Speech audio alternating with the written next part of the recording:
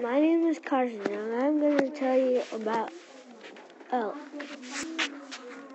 An elk's habit is way different than my habit. I live in a house by the woods, and an elk lives by a swamp.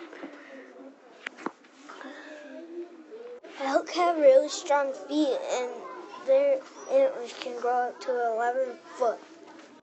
And the diet. An elk will eat um, staghorn um, and crops. It will chew cud too. The end.